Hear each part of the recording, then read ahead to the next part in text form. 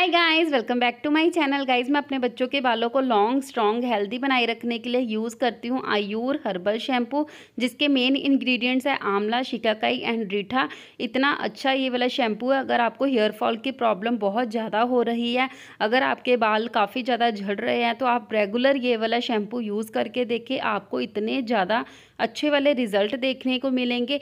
इसके इंग्रेडिएंट काफ़ी ज़्यादा नेचुरल है ईजिली आप लोकल मार्केट स्टोर से इसे बाई कर सकते हैं ऑनलाइन भी आप इसे बाई कर सकते हैं।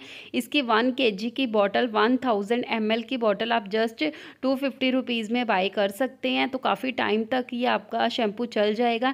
लेदर काफ़ी अच्छा करता है। वीक में दो बार आपको हेयर वॉश ज़रूर करना चाहिए। अगर आप ये वाला शैम्पू रेगुलर यूज़ करेंगे तो आप इसके फ़ैन हो जाएँगे क्योंकि इससे हेयर फॉल तो कम होता ही है। साथ में बालों की लेंथ भी इंक्रीज़ होती है। आपके बाल हैवी होते हैं।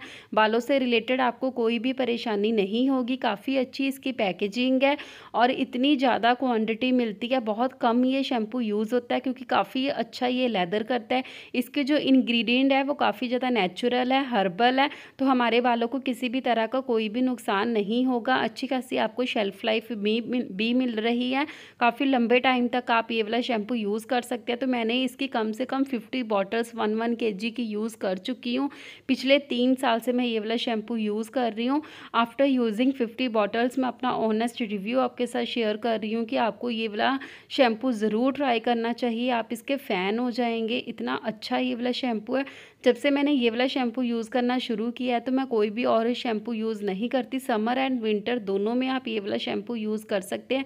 मैन वुमेन किड्स हर किसी को आप ये वाला शैम्पू यूज़ कर सकते हैं। क्योंकि ये वाला शैम्पू हर्बल है तो हमारे बालों पर कोई भी नुकसान नहीं होगा। इसके इन्ग्रीडियंट सारे नेचुरल है। होप गाइज़ आपको मेरी ये वाली वीडियो अच्छी लगी होगी। वीडियो अच्छी लगी हो तो वीडियो को लाइक ज़रूर कर दे और चैनल को कर दे सब्सक्राइब। तो चलिए गाइज़ मिलूँगी मैं आपको अपनी नेक्स्ट वीडियो में। तब तक के लिए थैंक यू बाय